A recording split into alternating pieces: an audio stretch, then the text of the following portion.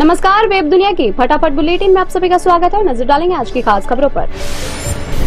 2006 के उमेश पाल अपहरण केस में बाहुबली अतीक अहमद समेत तीन को उम्र कैद, भाई अशरफ सहित सात अन्य आरोपी बरी। डॉन को फिर साबरमती जेल भेजा जाएगा। उमेश के परिवार ने फैसले पर जताई नाखुशी। फांसी की सजा की मांग। कर्मचारी भविष्य निधि संगठन ने 2022-23 के लिए ईपीएफ पर 8.15 प्रतिशत की ब्याज दर निर्धारित कर दी। गत वर्ष ईपीएफ ने 8.1 की दर से ब्याज दिया था। इस फैसले से प्राइवेट सेक्टर में काम कर रहे करीब 6 करोड़ लोगों को फ़ायदा मिलेगा। पंजाब हरियाणा हाईकोर्ट ने ली चैट जीपीटी की मदद। क्रूरतापूर्ण हमला के मामले में जमानत को लेकर दुनिया की राय जानने के लिए अदालत ने सुनवाई के दौरान ली चैट जीपीटी की मदद। सीडीबीटी ने पैन को आधार से जोड़ने की अवधि तीन महीने से बढ़ाकर 30 जून 2023 तक कर दी। पहले यह अवधि इकतीस मार्च तक थी अब पैन को आधार से नहीं जोड़ने वालों को पैन को 1 जुलाई 2023 से निष्क्रिय कर दिया जाएगा। स्वास्थ्य एवं परिवार कल्याण राज्य मंत्री भारती प्रवीण पवार ने राज्यसभा में कहा, इस साल इक्कीस मार्च तक H three N two virus के कुल 1317 नए मामले सामने आए। का इन्फ्लुएंजा के मामले में प्रबंधन के लिए राज्यों को सहायता देने के लिए विभिन्न कदम उठाए। राहुल और अडानी के मुद्दे पर एकजुट रहा विपक्ष। दूसरे को टारगेट करने से बचेगी विपक्षी पार्टियाँ। शिवसेना नेता संजय राउत की राहुल से बात। सावरकर के मुद्दे पर दोनों पर थे मतभेद। दिल्ली के मुख्यमंत्री अरविंद केजरीवाल ने पीएम मोदी को बताया, सबसे भ्रष्ट पार्टी 30 मार्च देश भर में शुरू करेगी। मोदी, हटाओ देश, बचाओ अभियान। 11 भाषाओं में लगाए जाएँगे पोस्टर।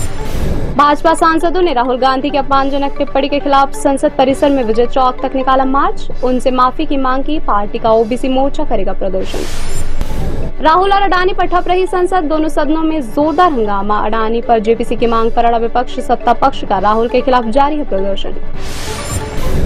सांसदी के बाद अब राहुल गांधी से चीनेगा बंगला। राहुल ने लोकसभा सचिवालय को भेजा नोटिस का जवाब। कांग्रेस अध्यक्ष खड़गे ने अपने बंगले में आने का दिया ऑफ़र। वेब दुनिया की सभी से अपील है कि भीड़ भाड़ से बचे, मास्क पहने व सैनिटाइजर का इस्तेमाल करें। साथ ही सोशल डिस्टेंसिंग का पूरा पालन करें। केंद्र शासित प्रदेश लद्दाख में सुबह करीब दस बजकर सैतालीस मिनट पर भूकंप का झटका महसूस किया गया। रिएक्टर स्केल पर इसकी तीव्रता चार दशमलव तीन आगे गई। भूकंप का केंद्र लेह शहर के एक किलोमीटर उत्तर में 105 किलोमीटर की गहराई पर था। तमिलनाडु से सबरीमाला तीर्थ यात्रियों को ले जा रही एक बस मंगलवार को केरल के पथानमथिट्टा ज़िले में एक गहरी खाई में गिर गई। हादसे में कम से कम बासठ लोग घायल हो गए। गुजरात के कांग्रेस विधायक अनंत पटेल पर निन्यानवे रूपए का जुर्माना 2017 में नौसारी में छात्रों के विरोध प्रदर्शन के दौरान प्रधानमंत्री नरेंद्र मोदी की तस्वीर फाड़ने का आरोप। पंजाब सरकार ने पंजाब एवं हरियाणा उच्च न्यायालय में कहा, अलगाववादी अमृतपाल सिंह को जल्द ही पकड़ लिया जाएगा। पुलिस ने 18 मार्च को पंजाब में अमृतपाल और उसके संगठन वारिस पंजाब दे के सदस्यों के खिलाफ कार्रवाई शुरू की थी और अमृतपाल उसके बाद से लापता है।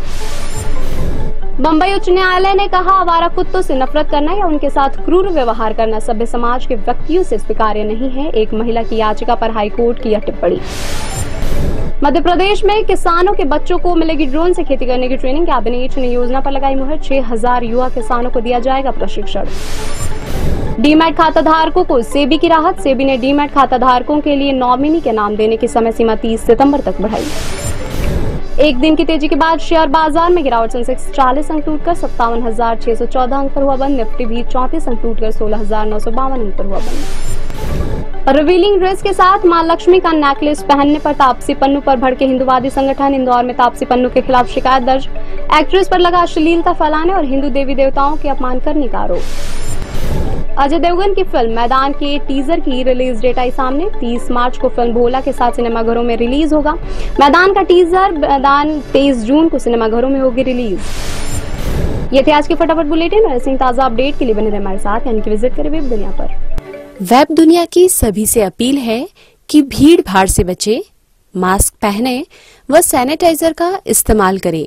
साथ ही सोशल डिस्टेंसिंग का पूरा पालन करें।